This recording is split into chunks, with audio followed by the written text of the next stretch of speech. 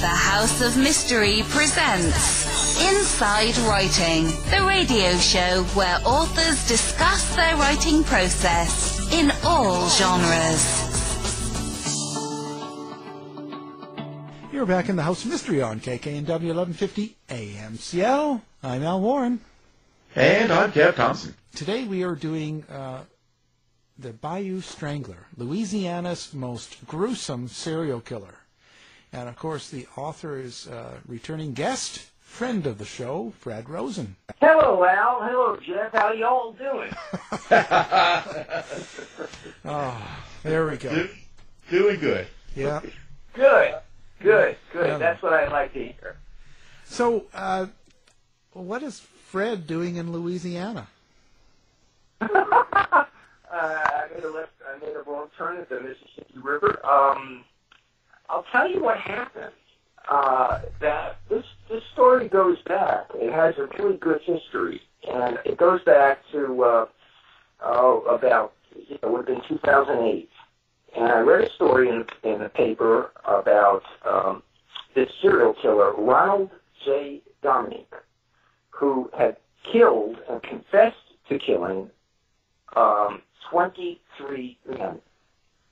And I had not heard anything about it. And I said, what is this? I'm, I'm supposed to be a true crime author. I investigate murder cases. Why haven't I heard about this? So it took me a couple of months to, to look into it. And then I, I, I realized, and I, I write about this in the book, that uh, the the fact is the media does not cover crimes that occur in the South as well as the covered crimes that occur in other places, especially the East and, and the West.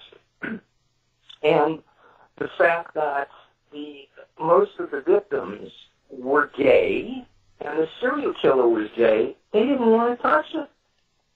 And I was like, I was shocked. You know, I mean, the way I was raised was one human life is the same as another. It never occurred to me that the media, I mean, I'm the most naive guy in the world. I never occurred to me the media would discriminate with a serial killer and victims. I mean, I just couldn't believe it. So I, I, I, at that time, I was able to get an assignment from somebody to do a book about it. And I made that left turn and, and I went down to, uh, to New Orleans. I flew down to New Orleans, and then I rented the car. You know how it goes, and you know, and I went further south to Houma, Louisiana, to investigate. They let you drive down there? No. well, I, I say uh, that. I. No, I say that because um, this is funny, but not. The um, okay, well, there's a congressman down there that uh, was interviewing on the radio show, not ours, but another one that's in uh, Toronto, and he was suggesting that Canadians should get uh, have to pass a driver's license to drive in the states because they're not used to driving on pavement. What? Yeah, What?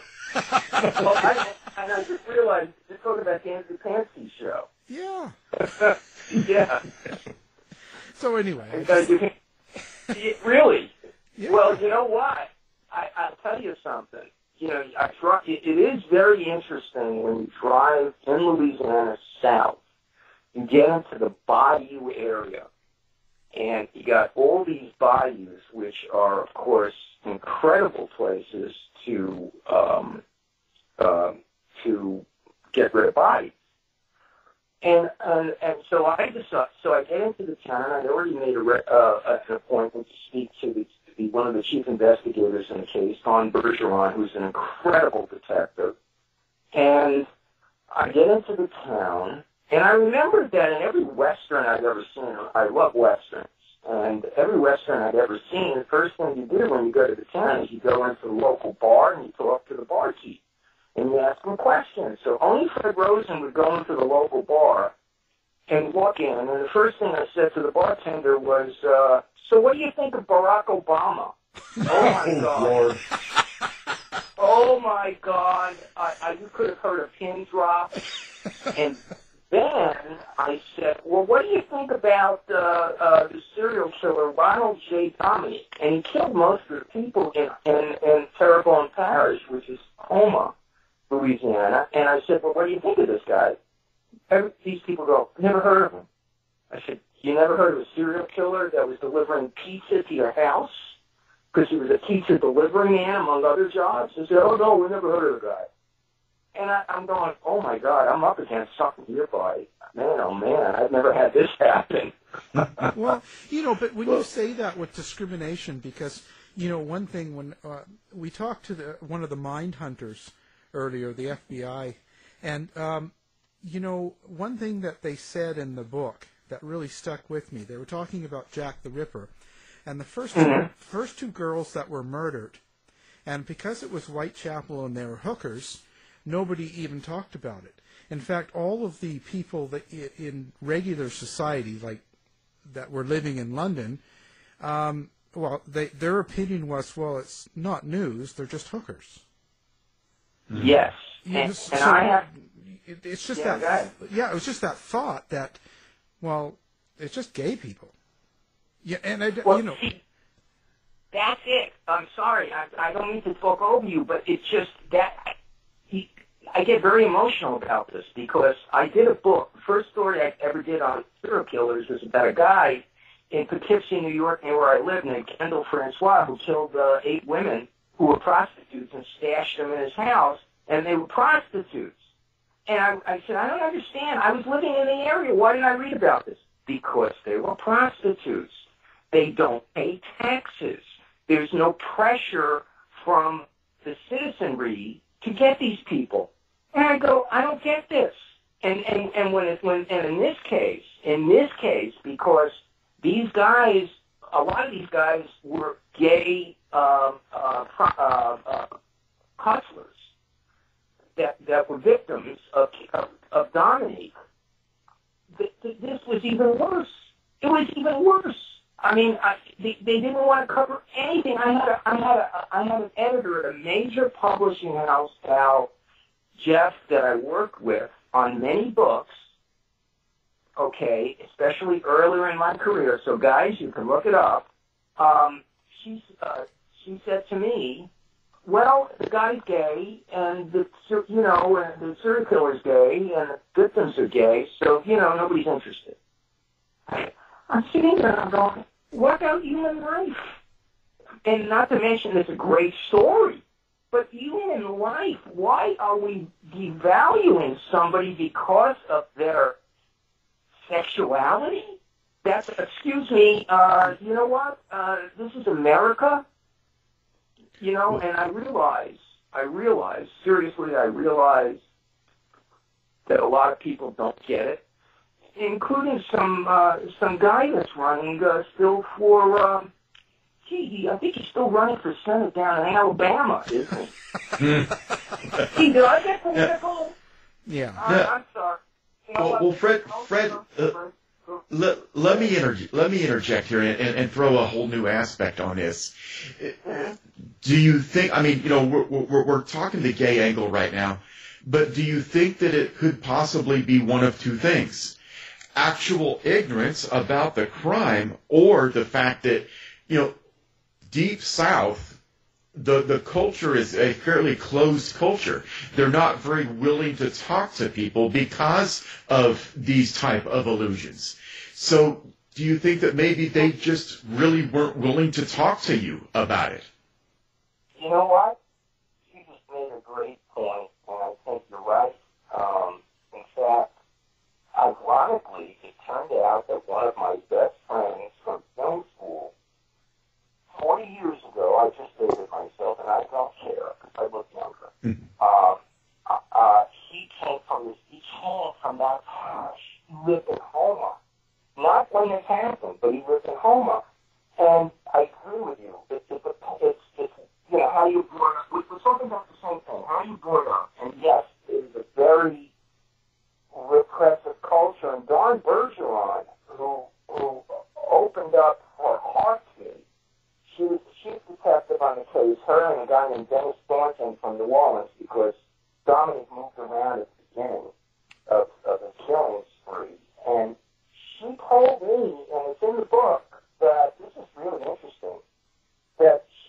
on this uh, like special victims unit, uh, you know, that we, you know, what we would call a special victims unit involving sex Mhm. crimes.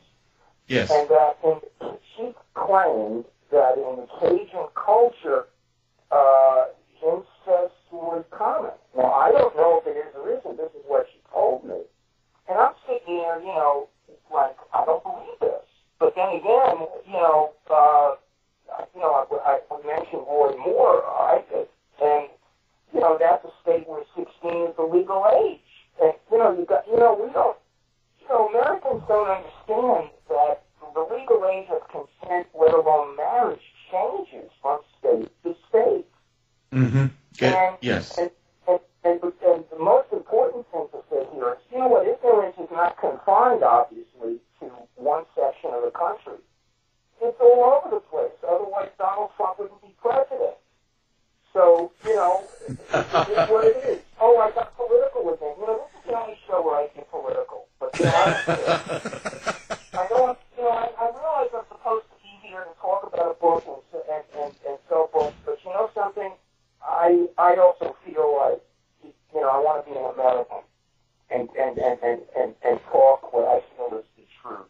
And of course, people are going to attack me, but that's okay. There's nothing new about that. No, not not here. We're an open forum.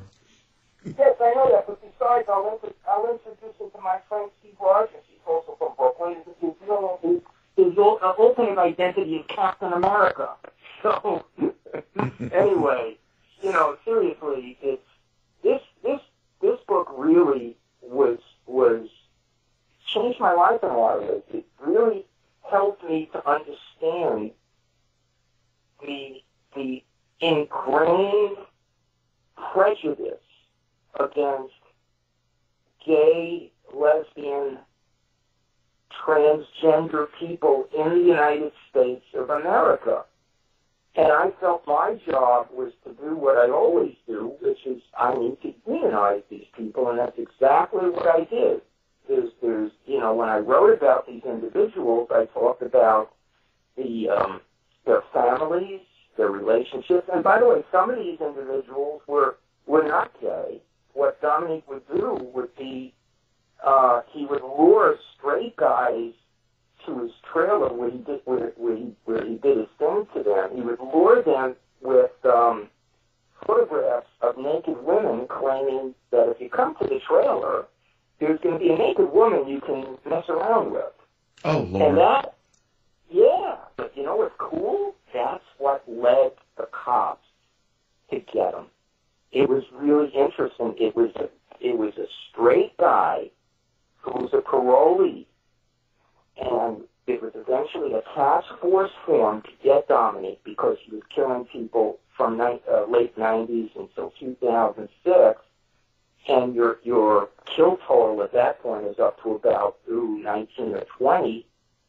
And um, they had a parole officer on the task force, and Dawn Bergeron and Dennis Thornton, the two chief detectives on it. Imagine a male-female team. I still think it's a hell of a good movie. But the the thing is, they uh, they said to the parole officer, "Hey, do you have any parolees that might have had a, a, a run with a bad guy who, you know, did this and that. And he asked if these parolees, and one of them did and that's what led them to Donald. And that's what, that's, you know, it's, this is one of those cases, guys, where the reason it's solved is primarily through shoe leather. You know, and, and the detectives, the detectives were, oh my God, they're, they're the complete opposite of the um, stereotypes of Southern sheriffs that you see in the movies. Uh, these guys were co- not forget colleges; they had master's degrees. they got master's degrees, and and in criminal justice, and they were raised the right way by their parents and they just determined they were going to get this guy because he what what Dominic would do is he would he would kill these people, but he wouldn't dump the bodies in the bodies. He put them out in the open. He was taunting them.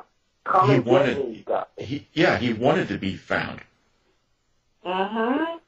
So, Fred, I, I got to ask you. Having said that, I, I don't mean to interrupt you, but having No, said right. that, and and you mentioned, you know, by this time there's already 20. So I got to ask you about a pattern, because that's what I look for. You know, let's Mhm. let's let's say his first couple kills were practice. Then Right. the typical serial killer kind of finds a method, they develop a signature, and they will follow that method. Then they tend to get either arrogant or sloppy, and that's what leads eventually to their capture. What was his pattern? What a great question. Boy, oh boy. Um, That's the why we have pattern. no, I mean it. I mean, when you when you use that word signature, I go, oh, that's cool. Um, the pattern, okay. The pattern was that what Dominic would do is first when he was in New Orleans, he would actually just go to a, a place called the Rawhide, which was a very prominent gay bar, and um, he would go in there and he would just sit down, have a beer, I, I used I used to dance there. Oh, you, uh, are you serious? No. Oh, because because I was just going to say, thank God. You know, I mean, it's like he, he would go. Well, no, he would. He would not. He would not be the guy. Uh, no, he would go in there and he would, uh, you know, chat up somebody, and he, you know, at the bar, he'd have a beer, and uh, you know, and he'd say, oh, and you know, they they do a, uh, you know, a little dickering, no pun intended, about how much for you know this kind of a sexual act and so forth. And then he'd leave and he'd go to his car, and what he would do then is uh, they would have sex of one sort or another, and then he would use his weight because he's a very big guy, and he would get on top of them, and then he would strangle them. He was very, um, you know, he looked like just a uh, just a very heavy person you know, back in the day, people would use the term fat, but heavy is a better, certainly a better term. And then he would strangle him, and then what he would do is he'd ride around with the body in the car, and um, there was no signature as far as Al. There was no signature as far as, um, um, well, the, the real signature was he'd ride around, find a place where he could dump the body where nobody was seeing, and it would always be in the open. And after the, the, the first couple of times he does it, Dennis Thornton, who's this uh, New Orleans detective, he's going, oh, it's the same guy. I mean, Dennis, Dennis is a smart guy, but what happened was Dominique felt them closing in a little on him, or actually it would have been uh, Thornton, because Thornton was just this, he was dogged in finding the guy, and so he then got in a car, and he had a trailer, and he, he towed it back down, which is about, I don't know, maybe it was a 100 miles or something from New Orleans to Houma on the Gulf. And he wound up getting a trailer, um, um, for a while he had a separate trailer in a very isolated area. Uh, and so his, the real signature was the fact that he dumped the bodies in the open, every single one. And it, at one point he even avoids a police dragnet. He was a very, very smart guy. So now it, it says here in the preview too that they were all African American men.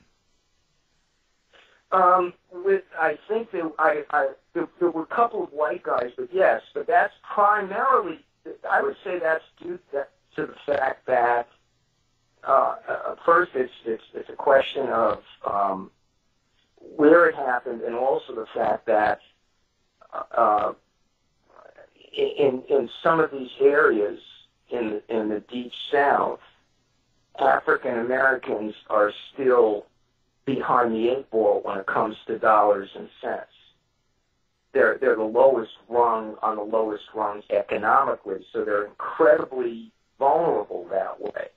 And so some of these individuals, in fact, a friend of mine was pointing out to me, Jim Seeley, who I, I nicknamed Mr. True Crime. He's a uh, he's a a, a, a, a travel agent who put together the Kenda cruises with Lieutenant Joe Kenda. Did you have you had Lieutenant Joe Kenda on the show yet, now? No, no. I tried to get him once, but uh, he his his uh, agency never even responded. Well, leave it to me. I'll get him. I'll get him. Okay. Because he's because Kenda's good friends with with with Jim, and the thing is, what Jim pointed out to me is that Freddie said, you know, a lot of the guys you're talking about in the book may have been bisexual, and not to mention the fact that when people don't have money, they'll do. Let's face it. If you haven't had, if if if, you, if, if you've never been in poverty, and I have been, you don't know what you know what you're capable of doing until you're in that situation, and you know, and how desperate you are, including you know, doing sexual acts with a guy like like Dominique because it's going to pay you know, it's going to pay for food, whatever it might be, and and and and that's the part that really bugs me, which is again the media doesn't want to talk about this stuff you know, we're talking about a subclass of individuals in the United States who are still suffering. You know, and we're in 2017, they were suffering back then, and I'm not a bleeding heart liberal. I'm a middle of the road, or I'll vote for anybody, you know? But, uh, you know, but this is a fact. At least I think it's a fact. And so, um, in terms of his choice of victims, he, uh, like most serial killers, Dominique had that second um, sight, so to speak, where he would choose the most vulnerable, the, those that needed the money the most. And then, then he, you know, that, and, and, and he, all, he was, he was pretty, uh, the only time, actually, that, as we're talking, the only time he dumped the, uh, no, that's right, yeah, yeah, yeah, he, he no, he, he, dumped, he always dumped the bodies in the open always dump the bodies in the open. I think there was one time where he he used a uh, yeah that's right he used a, a storage facility and he dumped the body there, but that was it. You know, it was just convenient. I mean, he he's just you know this guy, and you know you you if you look at the picture of the guy, you know he looks like the most innocuous person you'd ever see. Um, what was fascinating about him was when when the cops finally got to him, and you know we can you know they he really talked a lot about his background. Oh my God, he, he talked about how his family discriminated against him. You know, it, it's so interesting to me. You know, you know, no matter what you know any of us have gone through, when you start talking about somebody, you know, a family discriminating against you because of your sexuality, your mother giving you a hard time, and your your cousins, your siblings, all those, that, that's got to be the most awful thing in the world. I mean, it, you know, I mean, look, I had a hard enough time when I decided to become a writer. You know, people think that uh, you know Jewish families um, there I go again, getting into trouble. I think Jewish families. Stay with me on this one, Jeff. Uh, people think that you know that you know it's, it's a big deal if you become a writer. No way, man. I was supposed to become a lawyer, you know, mm, and I became a writer, and everybody thought, yeah, or a doc, or a doctor, as we used to say in Brooklyn. But they, they you know, people you know, sure, I understand that, you know, everybody wants you, you know, your family wants you to make a lot of money and all that stuff. But you got to go with your heart, whether it's your, your, your, what you're going to do for a living or, and or what your sexuality is. Uh, you know, and I, and I guarantee you that if, that if Tom Jefferson and, and, and, John Adams were around today, they'd say the same thing. Okay, so what was his point in killing these people? Like all these guys, like uh, why was he okay. doing it? Who was he trying to uh, pick? Impress? Yeah, like what was what was the point of it? I, I the the point of it. Well, there was a couple of things. Great question again. Um, the point of it is, first, what would happen is it would be a, situ- a situation where primarily he would pay these guys, and he would pay them, you know, for oral sex. But sometimes they wanted to have anal sex. Well, he had some problems with it, with his uh, with his anus for various reasons that I talk about in the book, and he felt uh, that if he, if they forced themselves on him, he would um, he he would um, uh, uh, hemorrhage. Okay, and so anytime somebody touched him there, he would go ballistic because he's gone to prison for some minor thing. Like most serial killers, he had a, he had a very um, record. Okay, but he'd gone to prison and he'd been raped in prison. He claimed, and that, that's why he had problems with, you know, his his anus and so forth. And so, if anybody touched him there, he went ballistic. And he also wanted the attention to show that he was something because his family thought he was a piece of you know what. You know, and um and he wanted that attention. There is no question about it. He wanted that attention. And um to legacy. me what yes. Yes. He wanted it. And well the I actually got to go into the trailer where he actually killed most of these guys. Oh my God! They, the cops um, preserved it, and it was a weird one because, look, I I I I, I got I believe in vibes. Okay, you get a vibe, you get a feeling. It was it's not like there was blood or anything, but man, it didn't feel good. And the guy had Christmas decorations up all the entire year. And I'll never forget this. There was this baseball, and I'm looking at the baseball and I'm going, oh, please don't tell me he's a baseball fan like me. you know, what, please don't tell me this. Uh, but, you know, it, it, was, he was, he was so smart. I mean, he, he had this trailer parked on his brother-in-law's property in a really isolated area. So he, he, he kidnapped these guys, not kidnap, he, he, he'd uh, lure them back to the trailer where he would, um, uh, you know, they'd have sex and then, then he would, he would throttle them. A couple of times he also hit them with a, with a wrench or, or, or you know, whatever he had handy. And, and then he would just take the body and instead of throwing it in the bayou, which of course would be the smartest thing if you're a bad guy, he put it back into the car and find someplace and dump it. And one of them actually was very. He dumped this body. Uh, Matthew, what's his name? The kid in Colorado who was gay, who was killed. Um, Matthew Shepard. Shepard, thank you. He he took one of the bodies and he put the body over a fence, just like Matthew Shepard. And you know what's ironic about that? um, that goes back into the mid '90s, and I, I'll still I still remember this. In, in one of the first episodes of of uh, Superboy, they do that with with young Clark Kent. You know, the bad guys, not knowing who they're dealing with. You know, Yeah. that was a very iconic image, and there's no question that Dominique was certainly one of the smartest. He is the smartest serial killer I have ever written about. You got to be pretty smart to get away with 23 murders. But the other thing I should mention is there was no attempt because they didn't have the resources to use geographic profiling. If they used geographic profiling, they would have got him a long time earlier, but they didn't have the resources. And the most important thing in a serial killer case is linkage.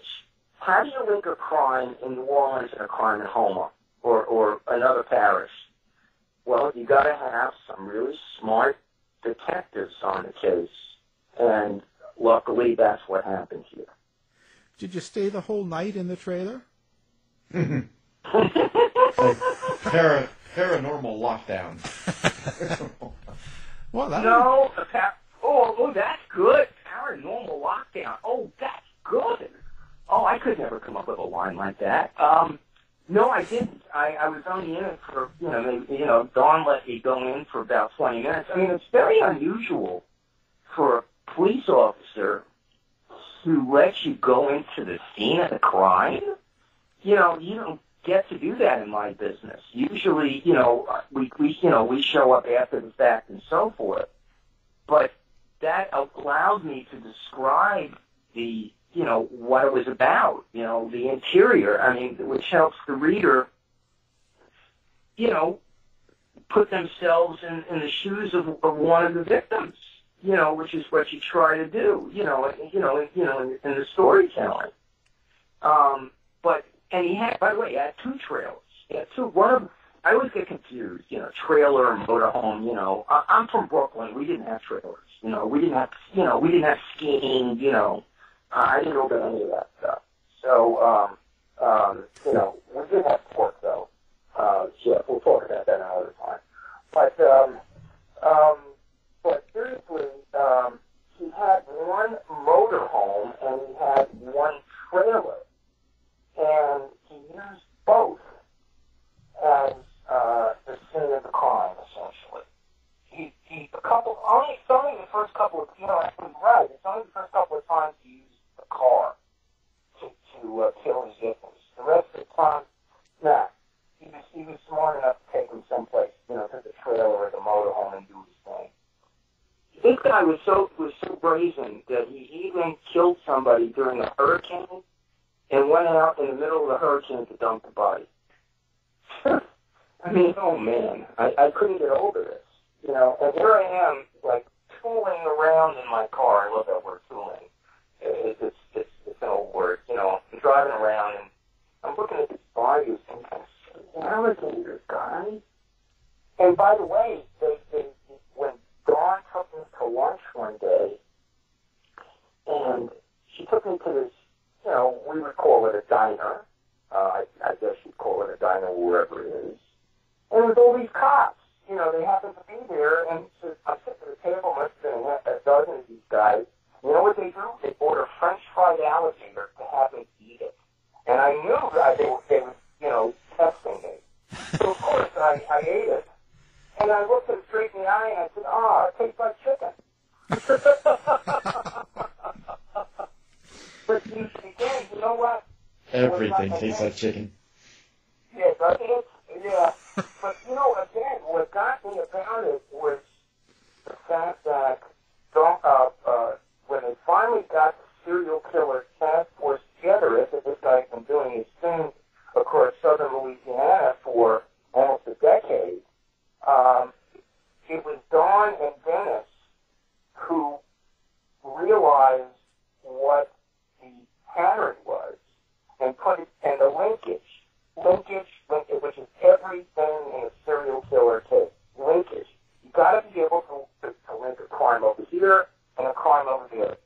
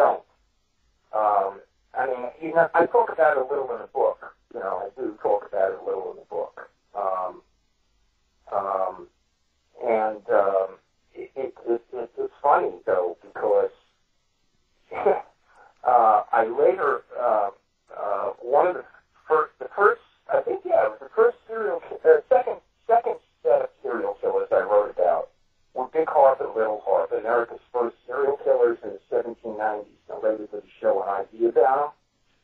And I had forgotten that when I was a kid, and maybe you two out, you know, most of us remember Davy Crockett's Into the Wild Frontier, and I mentioned this in the book.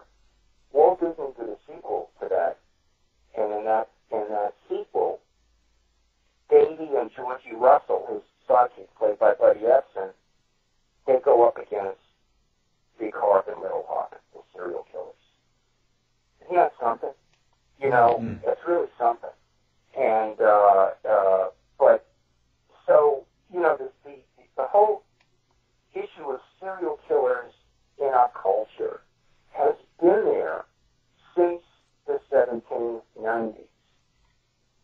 Um, and, you know, I just thought of something else actually. I, uh, I, so now, whatever happened to this guy? So uh, he got caught, and what was the what was the final results? Uh, was he uh, sentenced to life? Oh.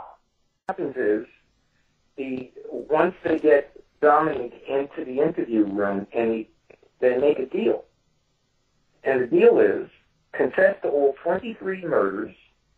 We'll charge you with only a couple. We'll take the death penalty off the table, but you've got to take us to the dump sites, which is the place we dump the bodies. So they know for sure that he's telling the truth, and that's what they do. And then, when with the case, there's no trial. They just make a deal. Life and you know, a couple of you know, prison sen- uh, what do you call it? Life life sentences.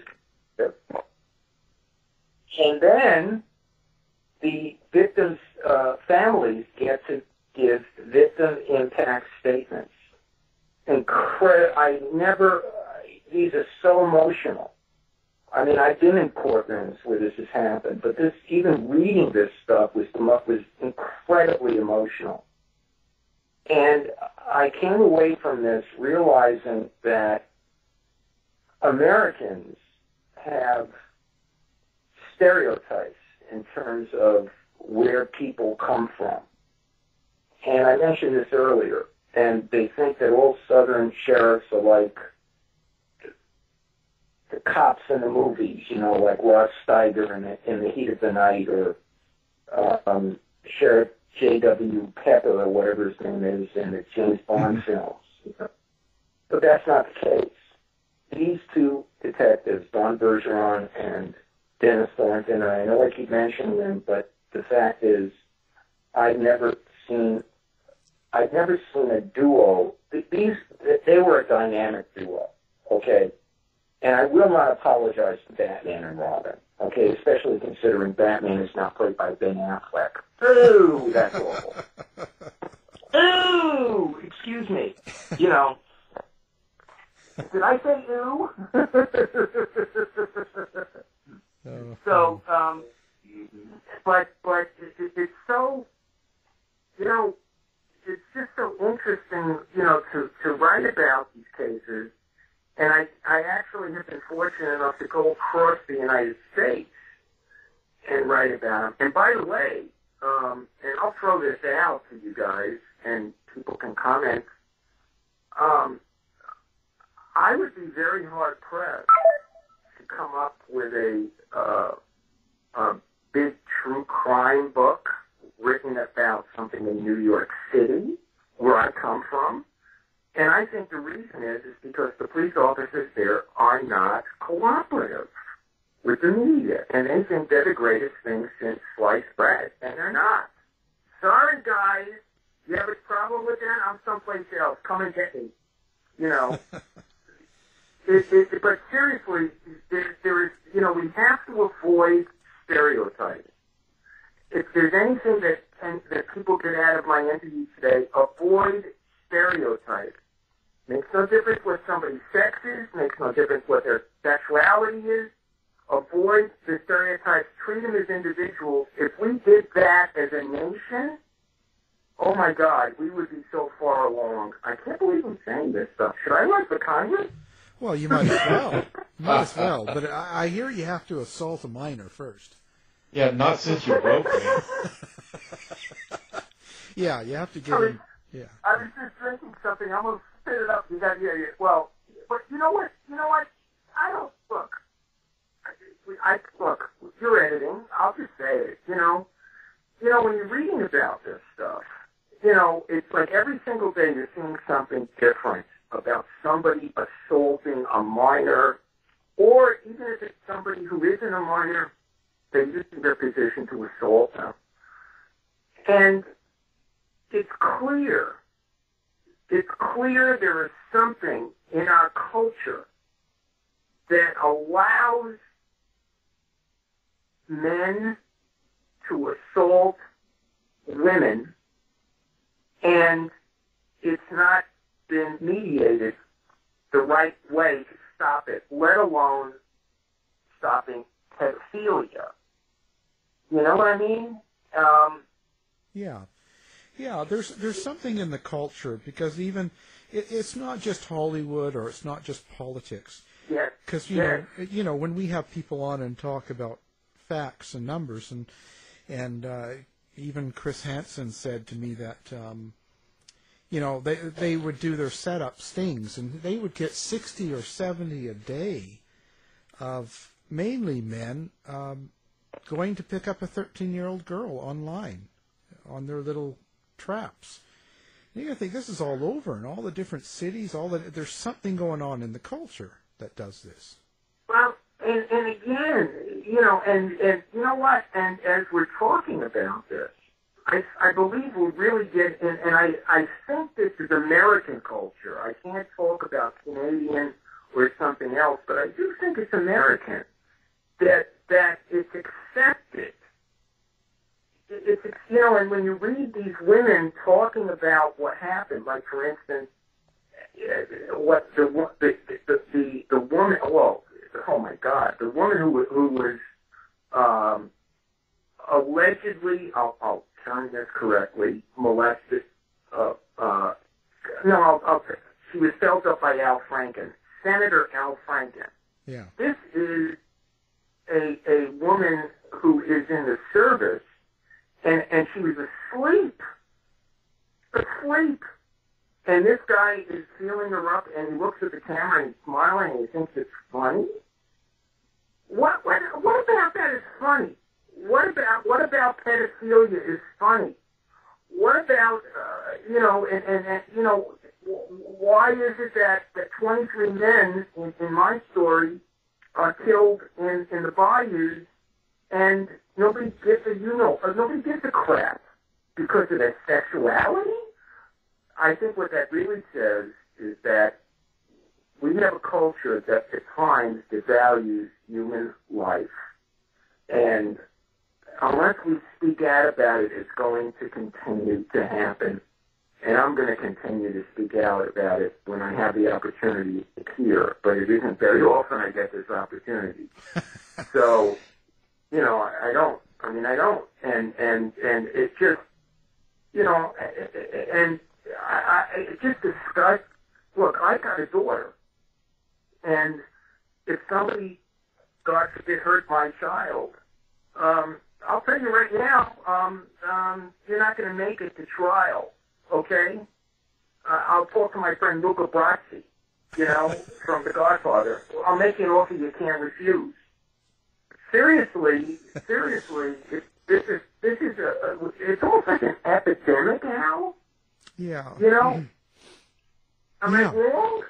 No, no, and, and the the thing is, I think that if you look at the big picture, but I agree with you, but you know, look at it back in the '60s and '70s, um, how far back it was, and I think about uh, being a gay man in the '60s, what it would be like when it's actually against the law in the U.S. You could get arrested, and and and you look at. Um, uh, you know, I watch the game shows. I watch the old game show channels to come down Yeah, yeah. after working.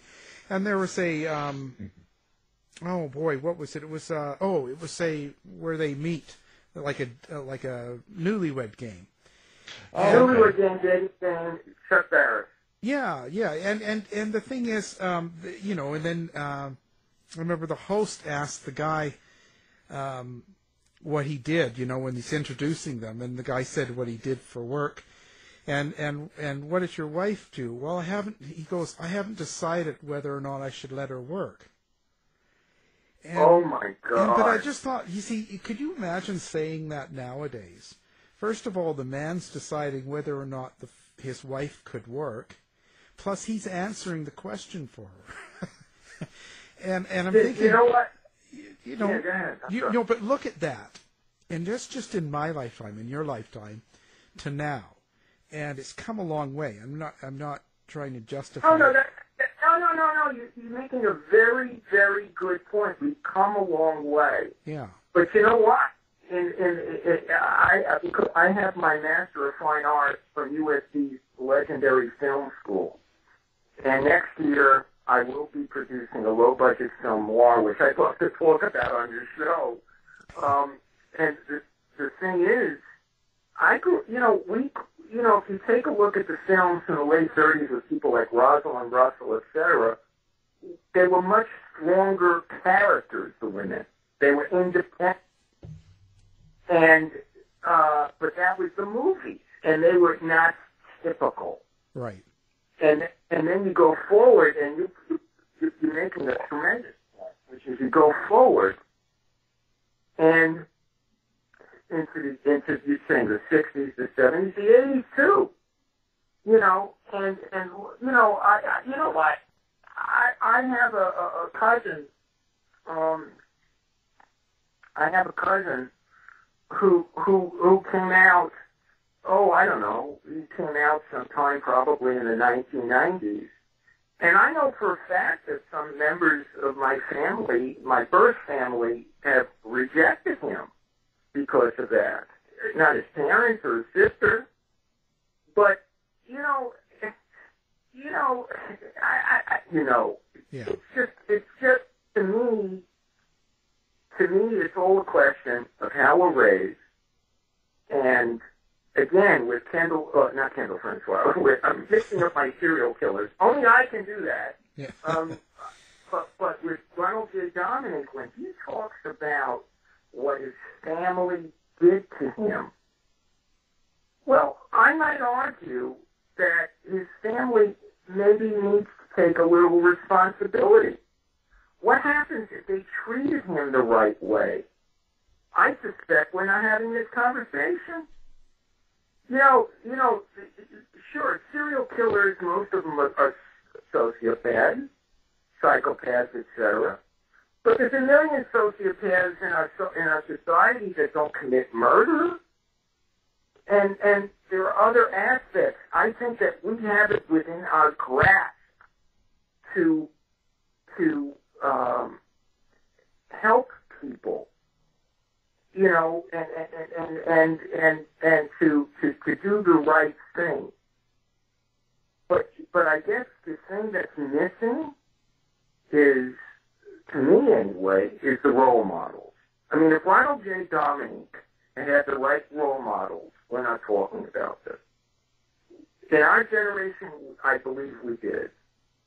Yeah, more so.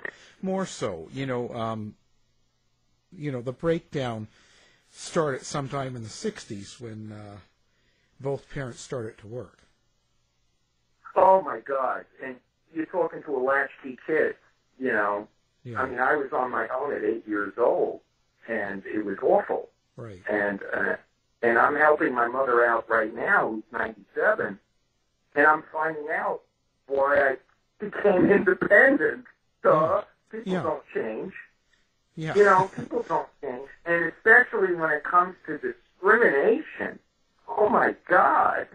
You know, I mean, it, it just well, you know what? I'm, I'm going on. I don't mean to go on and on. I just, and I, you know, Well, you get the I, point. I yeah, you know, Nothing um, it, and and you know, I, I, I yeah, exactly, and um, so, and, but the good news here is in Bayou Strangler, they got the bad guy. They cleared all 23 murders. They did closure to the families. What you can't, in law enforcement, you cannot ask for anything more. No, and uh, no, and uh, we appreciate that. Well, Fred, we are run out of time here, so we have to wrap it up. Now, your book, of course, is on Amazon and everywhere else. We'll have it on our website as well. It's called The, Thank Ba- you. I the Bayou appreciate that. Strangler, and that's Louisiana's most gruesome serial killer. And our author is Fred Rosen, friend of the show, and we're glad you came on again. Listen, Jeff, Al, thank you so much for your time. I appreciate it. To find out more about our show, guests, or to listen to past shows from our archive, please go to www.houseofmysteryradio.com. Show's over for now. Was it as good for you as it was for me? Well, good night. This has been a production of Something Weird Media. I'll be back.